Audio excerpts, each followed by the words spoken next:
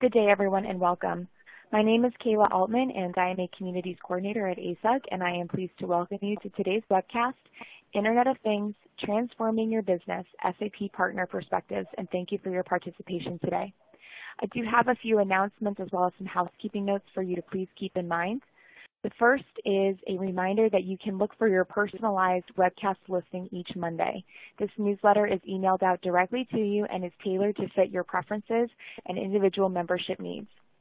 Using that publication, you'll be able to register for future events from the Internet of Things community, as well as other special interest groups that you are interested in.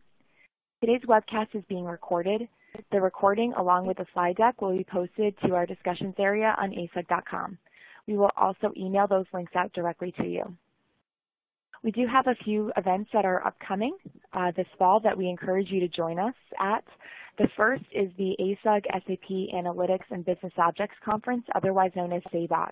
Join us for three days in Austin, Texas for uh, deep dives and hands-on training for analytics and business objects. Co-located with that event is a three-day practical analytics workshop this three-day hands-on analytics training course is perfect for business users. For more information, visit us on the website uh, posted on your screen. It is now with great pleasure that I turn this over to Paul Krachina, the Community Advocate for Internet of Things, who will introduce both the webcast and our speakers for today. Thank you. Thank you, Kayla, and welcome everyone to episode 7 of our eight-part um, ASUG IoT webcast series. Um, and uh, just a reminder, our last webcast in the series will happen uh, July 9th. Um, so please uh, sign up uh, to participate in that one as well. Uh, so without further ado, um, I would like to um, introduce our first speaker. Actually, today's quite exciting because we actually have two partners um, in the SAP IoT space. Um, our first being Zebra Technologies, and it'll be followed then by a presentation by Jasper as well. Um, both presentations I think you'll find to be um, quite informative. And I'd like to introduce you to our first speaker, um, Tom Bianculli um, from uh, Zebra Technologies. I'll turn it over to you, Tom. Hey, thank you very much, Paul, and uh, good afternoon, everyone. Thank you for joining. I'm uh, Tom Bianculli, as Paul said, and the uh, Enterprise Technology Officer at uh, Zebra Technologies. My pleasure to speak with you today. Um, so just start with um, setting some context around Internet of Things and and uh, what I think is you know really um, we're, we're on the edge of a, of a new era when it comes to computing really. And uh, you know I think Thomas Friedman if you're familiar with his book The World is Flat the author Thomas Friedman said it well uh, in that the world is flat. If you just think back to to 2005. I mean, just 10 years ago, Facebook didn't exist for for most people on the planet, right? Um, Twitter was still a sound. 4G was a parking space, and Skype was a typo. So uh, we've just come a, a tremendous way uh, in a very short period of time. And I think um, you know, really the takeaway here is uh, the exponential pace at which uh, things are changing. Um, just uh, just an incredible pace. Uh, if you look back at um, the amount of time it took television to reach an audience of 50 million users, it took 13 years. Uh, it took the internet just five years to reach the same audience of 50 million users. And uh, it took Facebook only three years to reach an audience of 50 million users. And uh, for better or worse, it took Angry Birds 35 days to reach an audience of 50 million users. So uh, if, you, if you doubt that we're living in exponential times, um, I think you just have to look at that uh, 13 years to 5 years to 3 years to 35 days in the app world. Just uh, a phenomenal pace and uh, rate of change uh, in the industry, and, and Internet of Things and the advent of that is going to be no different. Um, so, you know, just taking a snapshot of where we are today, it's uh, it's always good to to zoom out a little bit. There are uh, 66 billion mobile phones that'll be around in 2020, uh, 30 billion smart connected devices, and uh, if you extrapolate that out a little bit, that last point around um, 42% of mobile bandwidth is going to be taken up by, by devices, which means by 2022-ish, uh, the machines, the uh, Internet of Things, as opposed to people, will be communicating more over the Internet than, uh, than humans will. And uh, I, you know, I find that a, a, lot of customers we speak to, and uh, a lot of um, uh, planning we do from a future perspective is very much influenced by that. You know, and I think uh, companies that are going to survive are asking themselves, what does the world look like? What does their competition look like? What are their what's their customer engagement look like when uh, in just six or seven years from now, machines are going to be communicating more over the internet than people? Uh, it's it's it's really pretty profound. And as you can see in this chart, um, uh, the most exciting thing about all of this is that we're really just getting started. Uh, we are uh, at less than 4 billion if you subtract out the mobile phones uh, connected smart Internet of Things entities. And over the next five years, we're going to go to that 25 to 30 billion mark, and that's seeing a, a CAGR, a growth rate CAGR of about 60% year on year of of connected things. So, a backdrop of of, of, of really exciting technology, um, going from you know what's been banted about for the last decade to to reality. You know, and you know a lot of um, what you may be thinking, listening to to what I'm saying, and I often hear when presenting on this is. Well, the Internet of Things is interesting in the consumer space, right? If you think about Nest thermostats in your home, or you think about a Canary security system, or you maybe you even think about the Fitbit on your wrist. But how does the Internet of Things apply to business, and and how is it really going to create change in business? And um, you know, you, you can take a scan of this chart. I think the the two important things I, I want to point out is nearly half of IoT uh, is is going to be focused on business devices and business use cases uh, in 2018. So in, in three short years, we're going to move from you know consumer applications of IoT getting the headlines to uh, these enterprise applications. Um, and, and at the end of the day, the enterprise applications are the ones with the return on investments, right? They're not cool toys or interesting uh, hobbies. They're uh, about buy, uh, providing new levels of business productivity. And uh, you know, equally uh, stunning statistic, I think, is that you know businesses are going to invest a quarter of a trillion dollars in IoT by by the end of the decade. Um, and you know, we're hearing the same thing. I'll share in a few slides about what what we're hearing from the marketplace from various customer types. Uh, but if you scan the bottom of this slide, around four and five technology buyers uh, saying that IoT will be one of the most important initiatives for them over the next decade, and um, you know that's up from uh, a ranking of six or seven just three years ago. So we're seeing this really bubble to the top of the list. We're seeing the VC investment um, community backing it up with uh, uh VC investments in IoT startups um, increasing 10x over the last four years. So that's a rearview mirror look um, and is a leading edge indicator of, uh, of some of the uh, stats I, I, shared about 2018 and, and, by the end of the decade. So uh, truly exciting times. We're, um, we're, thinking that this is really going to um, uh, bring in, uh, usher in a, in a new age for enterprise opportunity and, and enterprise productivity. It's, it's, it's basically the next big change um, in enterprise since uh, the, uh, the, the advent of mobility, since, since the advent of the mobile device. So this new normal, uh, speaking of mobile devices, is that uh, everything's connected. Everyone is connected for sure now, uh, and uh, that's uh, even starting to saturate. And uh, we're starting to see everything become connected along the lines of these 30 billion devices by 2020. Um, kind of an interesting picture if you haven't seen that on the right of this slide. It's a picture of the Vatican in 2005 uh, when Pope Benedict stepped down, and uh, a picture in 2013 of when Pope Francis took the uh, papacy. And um, I, I think if you can see the picture uh, clearly on your screen, there's not much to say. You just just look at it and you see you go from a, a sea of people to a sea of devices in the, in the 2013 picture. So uh, the idea that everybody's connected, everybody has the bandwidth, they can publish video, photos on the spot uh, as is being shown in that 2013 picture, is um, you know is really is really come of age. Um, looking forward, uh, what's what's quite compelling off of the connection between analytics applications and this notion of Internet of Things is uh, Accenture uh, actually uh, anticipates that by 2017, more than 50% of analytics applications or implementations are going to come from real-time event streams, real-time data. You know, whether it's coming from people, it's coming from assets, it's coming from machines, it's coming from devices. Um, essentially, it's going to come from the instrumented world, and um, that's going to change uh, the way operations run. Um, you know, discussions that that we're having with uh, with customers and with industry is that you know the very notion of planning in, and scheduling and uh, route optimization ahead of time is really just going away. So the, the notion of a of a schedule is, is starting to disintegrate because as this real-time information is available, um, schedules are no longer planned or scheduled, right? They're, they're dynamically created, and that information is just being pushed out to the right user at the right time for them to take action in the right way. So fundamentally changing the way workflow operates and operations operate um, you know, across pretty much every vertical we serve, which includes uh, retail and transportation, manufacturing, and, and healthcare, as well as others. So I mentioned a few times uh, about this era of computing, and um, you know it's it's easy to get caught up on on hype and to to think that this is going to really change, but um, you know is there really evidence that it's happening?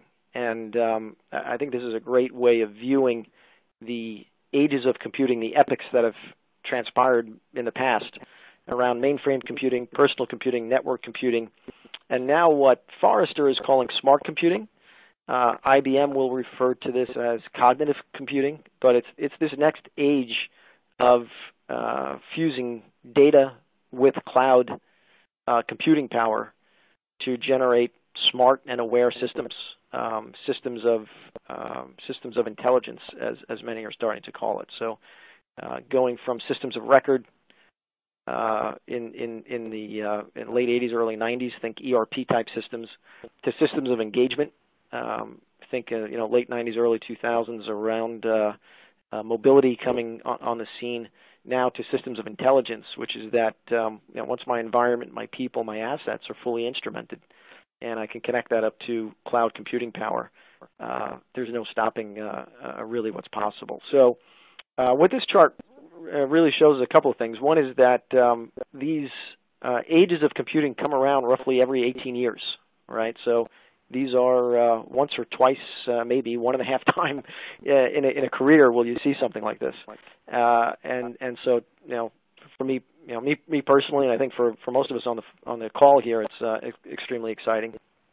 Um, mainframe computing, you know, in the in the 60s, uh, basically the first half of that, you know, 16, 17, 18 year period from 1959 to 1976, the first half of it was, um, you know, at relatively rapid growth as it, it came on the scene.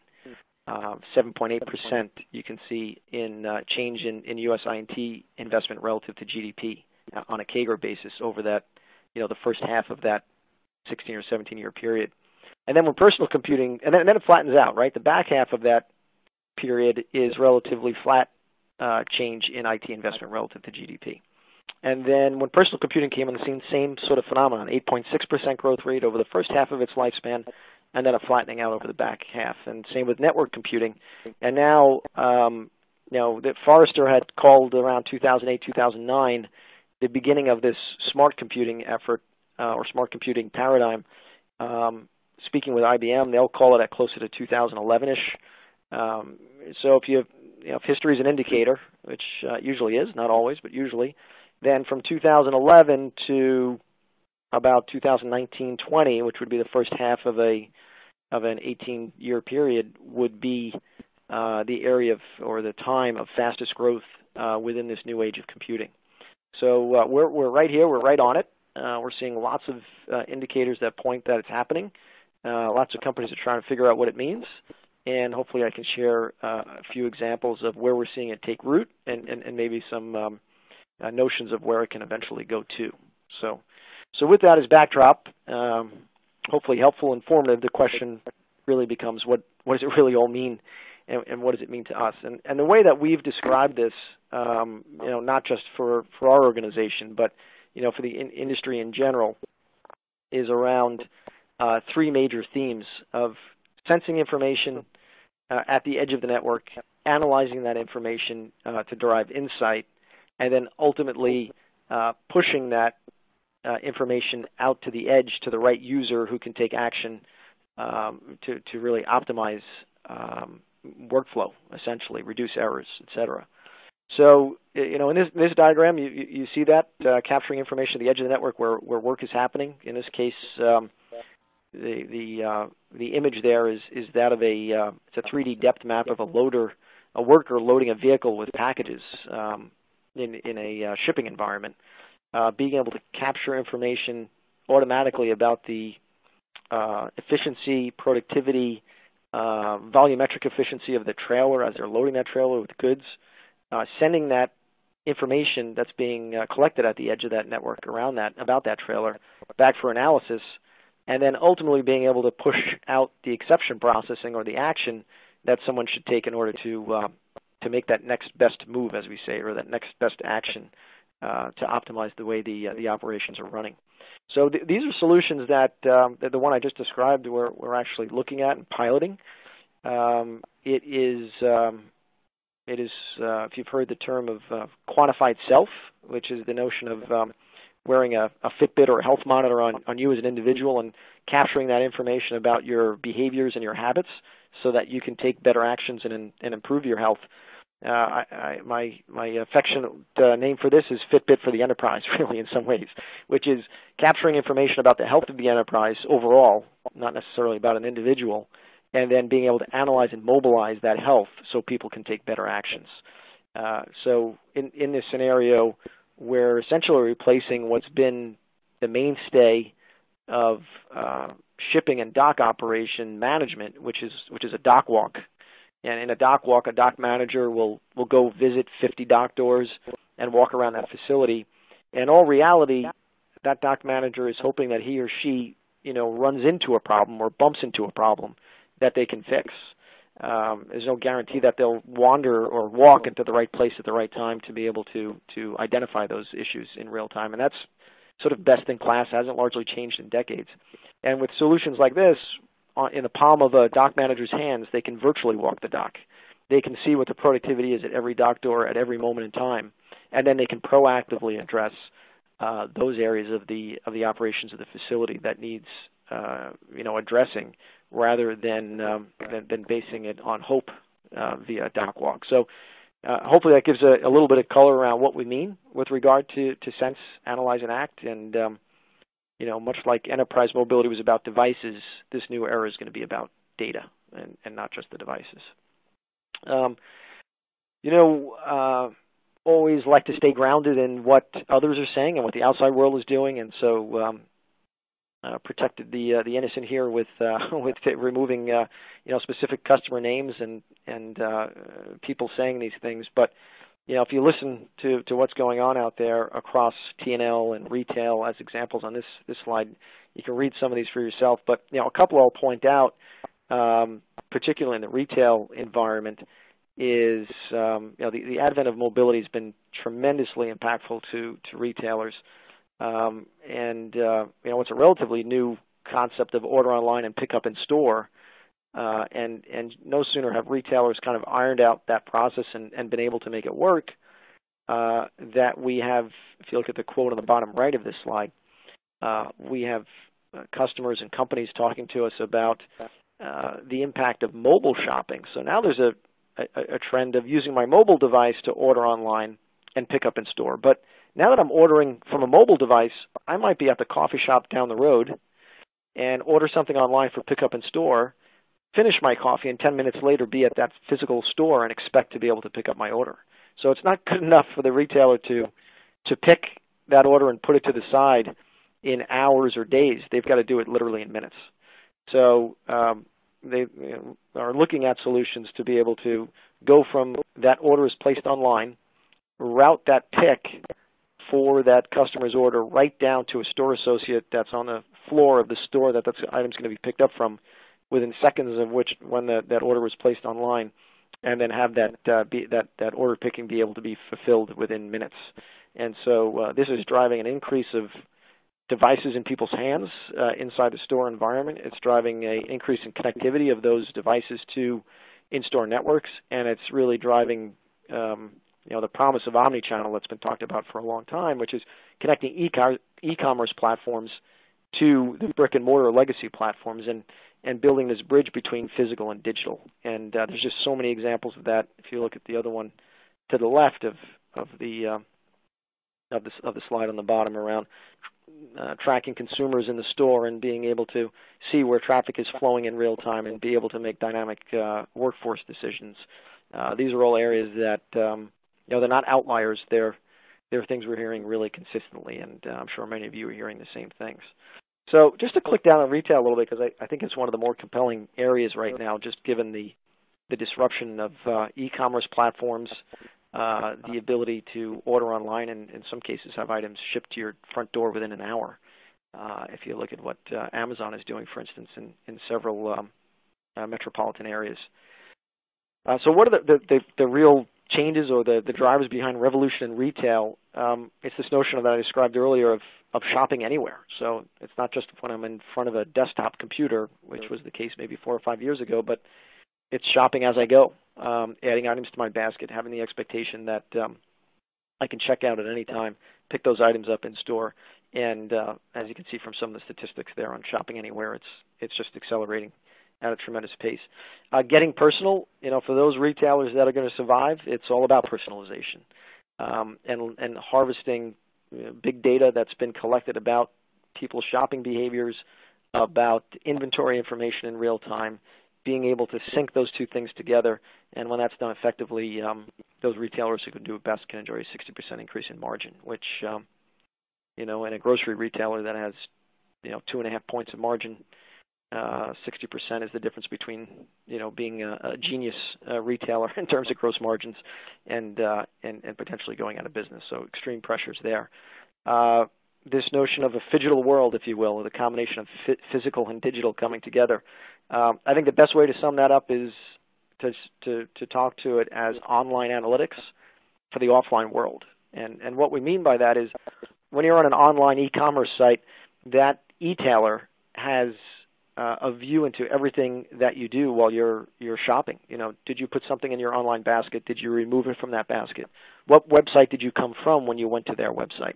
Did you abandon your your e-cart uh, because you decided to do some research or look at something else from a competitor.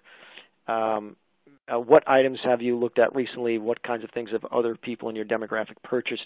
These are all analytics that an online e-tailer has at, the, at their fingertips just by the very fact that you're shopping on their website. Uh, you transition over to the physical store, the brick and mortar store, and none of this information is visible to, to retailers. So um, any one of us can walk into a retailer uh, competitively shop for an electronics item on on on a website uh, inside their store, uh, even purchase from a competitor inside their store and showroom use their store as a showroom for trying devices, walk out of the store, and, and the store doesn't even know that we, we came in, and, and they didn't even get the opportunity to engage us. Same thing with abandoned baskets or not being able to find what you're looking for in the store. Um, none of that analytics information is available to the physical uh, retailer until just very recently. So I'll give some examples of, uh, of how that's happening. And I think that is one of the, the better examples of Internet of Things uh, penetrating the front end of retail to turn that brick and mortar retailer into uh, having the same level of insight as their online counterparts. Integrated supply chain, um, you know, supply chain is just collapsing. Uh, what I mentioned earlier uh, around the idea of uh, being able to order online and have it shipped to your home within one hour. Uh, that doesn't happen unless the store itself actually becomes a node on the supply chain. So we're actually seeing fulfillment not just happen from warehouse, but fulfillment of goods happen from the store. And uh, if we're going to use the store as a as a retailer and as a warehouse at the same time, then inventory accuracies need to be much much better than they are in aggregate within a retail environment, and that requires um, you know just fundamental changes in, in, in the way that uh, inventory is calculated and the way the environment's instrumented to be able to gather that inventory information. So lots of interesting things going on there. Uh, it's a bit early on that one, but I would say stay tuned over the next couple of years. We're going to see um, you know, lots of what we uh, term as smart infrastructure. And uh, that's thinking about infrastructure inside the retail environment as not just a, a wireless LAN network, but as a, a suite of sensors that can detect what's happening in the environment, even down to, to the inventory level as an example. So uh, slide you're looking at now is, you know, again, just to, to make it real, um, starting on the left-hand side, let's just look at a shopping journey as an example. So I, as a shopper, walk into a store with my mobile device, and via the Wi-Fi network inside the store, I'm greeted, I'm enabled, and I'm onboarded onto the retailer's portal.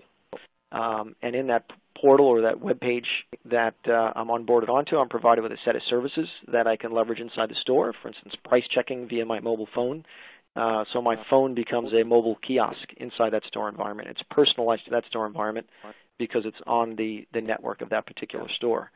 Um, I'm empowered to be able to request help, perhaps from my device, or be able to push to push to talk to a a store associate or an expert in the store um, via my handheld, uh, via my my own uh, consumer device as as the shopper.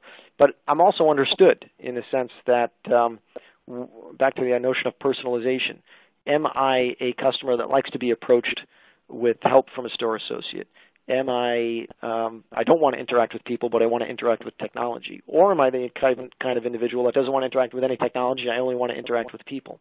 So really understanding who is in your store and how to present and posture your sales associates to that individual uh, becomes enabled through these kinds of solutions and um, and getting to identify and understand and know your customer better.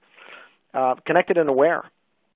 Uh, the, the, notion here of not just um, providing this information and this visibility uh, and capability to the shopper, but enabling store associates to be much to, to much more effectively interface with that shopper. Um, let's face it, most of us, uh, when we go shopping into a physical store, we often know more about the goods we're shopping for and the reviews online before we walk into the physical store than many store associates actually do. So the more that uh, retailers can arm their their sales associates with information uh, that provides personalization, that lets them know how they should engage that particular shopper, uh, that's able to pull up their preferences or previous orders, uh, the better chance that sales associate has of intelligently engaging the shopper and, and converting them to, uh, to a sale. So these kinds of solutions uh, are are being deployed today. Uh, the example um, I'm highlighting on this slide is a, is a public one uh, that uh, Wanda Mall Group in uh, Asia has actually deployed a um, combination of Wi-Fi and micro-locationing beaconing solutions that does precisely what I described on the on the previous slide, which is it onboards the mobile phone to the mall Wi-Fi. It provides guest or shopper services, such as which stores are located, you know, basically mapping of, of where stores are located within the mall. Uh, it provides the lessee of the retail establishments within that mall um, uh, foot traffic and uh, dwell time information about, you know, basically heat mapping that real estate to show where the hotspots are in terms of uh, customer traffic. And the really interesting thing about this is that, you know, it's increased um, uh, retailer revenues within the, mall environment, it's increased customer satisfaction because of the empowerment the shopper has uh, with the device and the experience they can enjoy. But I think a, a, really interesting side effect of this whole thing is that it allowed the mall operator to optimize their uh, rent uh, for the various retail establishments based on being able to show where the, the hottest spots or the the most uh, heavy trafficked uh, trafficked areas are within the the mall environment. So um, that, so this data was actually leveraged to dynamically set uh, lease or rental prices to the retailers renting space within the mall environment. So it's it's actually in this in that case, you know, creating or enabling entirely new business models, which is um, actually was an unintended side effect. Um, so transitioning, you know, out of the store and kind of going down the rest of the supply chain, uh, we're seeing that these uh, vertical-based silos of Internet of Things are really starting to converge on each other. So it's not just about the store collecting data or the transportation logistics provider collecting data about how their their operations are working, or even the the manufacturer or the um, you know meat packing plant or the processor uh, of food in this case shown on this slide uh, is obviously has a set of data they're collecting about their environment. It's about stitching all this data together into um, uh, a seamless view of what's happening across the whole supply chain, literally from farm to fork. Um, so with that, um, just see where we are here. Yeah, so so just a lead into um, some of what we're thinking here before we, we run a, brief video uh, that that highlights um, how this can all come alive. So the notion of smart objects in this example is the idea of a, uh, a, a battery-powered tag that um, can collect information about the state of the goods that it's uh, attached to. And you could think about uh, things like temperature and humidity and shock and vibration. And then it's able to transmit uh, that small amount of data, because it's, it's relatively uh, small payload, up to a wireless LAN network for collection.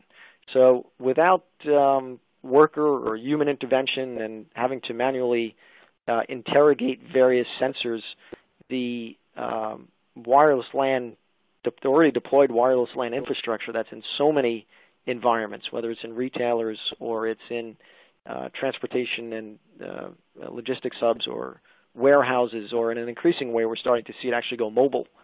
So the, the mobile devices we're carrying are functioning both as clients and as access points, and, and so they're able to collect this information as well.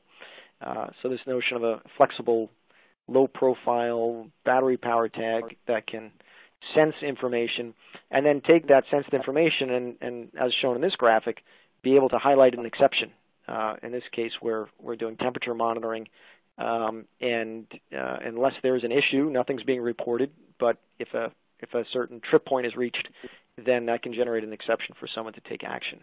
And um, as we get the uh, Kayla, if you could get the uh, uh, video queued up and we can get that rolling, um, I'll just mention that uh, the United Nations uh, World Health and Food uh, Administration has estimated that about one third of the world's food perishes in transit, uh, which is a, a, staggering statistic, but um, it, it's really a reality. So, as we're seeing increased mandates and legislation for for providing better pedigree of food as it moves through the uh, the supply chain, we're going to see uh, an increase in solutions like the one we're going to show in the video.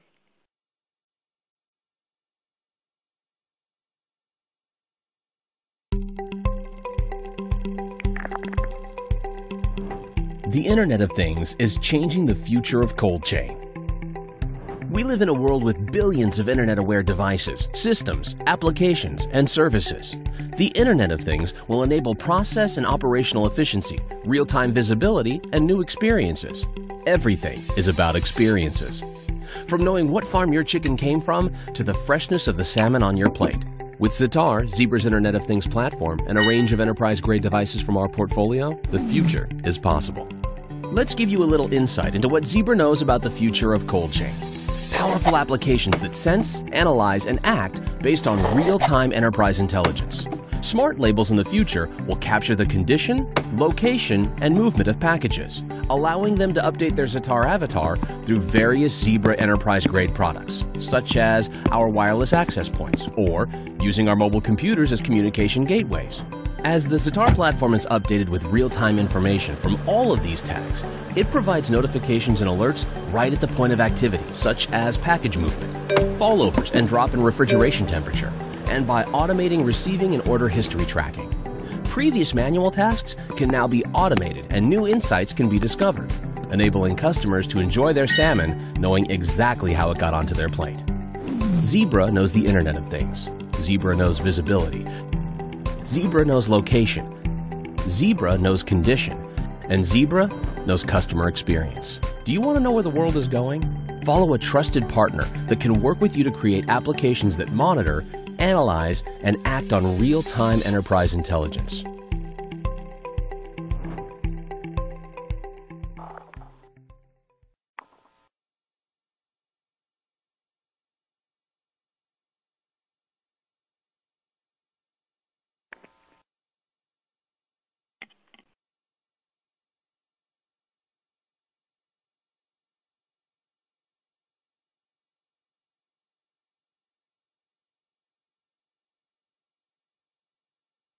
Okay, great. Hopefully everyone is able to see that. I couldn't see the, the video uh, live moving, but um, it, uh, it basically went through an example of a smart tag uh, tracking through the supply chain.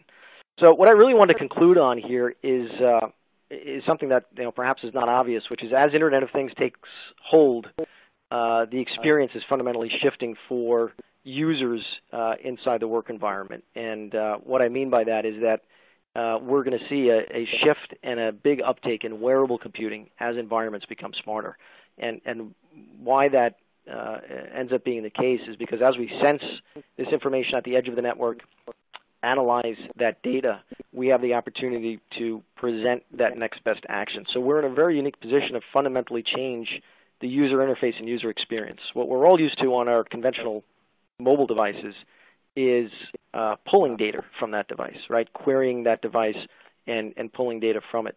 As we go to smarter environments, we're going to come into a, a, uh, a mobile experience, particularly in the enterprise, that's going to be much more push-oriented. And uh, that is the perfect sort of environment for a wearable heads-up display where I can see, see my physical world, but over that physical world I can overlay information that's being pushed down to me based on uh, exceptions and, uh, and what's happening around me and in my environment. Uh, and so uh, as this advances, we're going to go from uh, wearable computing as it exists today, which is I think most of our experience is largely around uh, strapping a mobile computer to, to a person. it's not the most elegant to what we call Future 2 here in the middle of this slide, which is you know, guided infrastructure, being able to present that right information to the person for them to be able to take the next action, that kind of push scenario that I described earlier. And then ultimately it goes to autonomous, which is that the endpoint that we're pushing information to may not actually end up really being a human. It uh, may, may end up being a, an autonomous uh, entity, such as a robot, and we're starting to see trials there uh, you may have seen uh, some of the acquisitions Google's done over the last five years, which has acquired eight to ten robotics companies um, in, a, in, a, in, a, whole host of spaces. So um, this drives what we're calling tomorrow's hands-free, frictionless workflow. So my hands are free, my head is uh, up for operation. I'm simply doing my job, and the data is being collected uh, automatically without me overtly having to do anything and the right next move for me to take, whether it's a sortation application, it's a picking application, it's a planogram compliance application, it's uh, deciding which um, you know package of food should be recalled. Uh, all of that information can be seamlessly presented in front of me uh, based on the combination of this wearable computing type platforms with uh, smarter infrastructures and Internet of Things based environments. So uh, in conclusion, um, as much as uh, the last uh, frontiers and uh, paradigms have been around transitioning through ages of physical computing, going from mainframe to desktop to mobile, we're entering this new age of data-based computing, where insight can be derived from data to enable better outcomes to occur in real time. Thank you very much for your time. Thank you, Tom.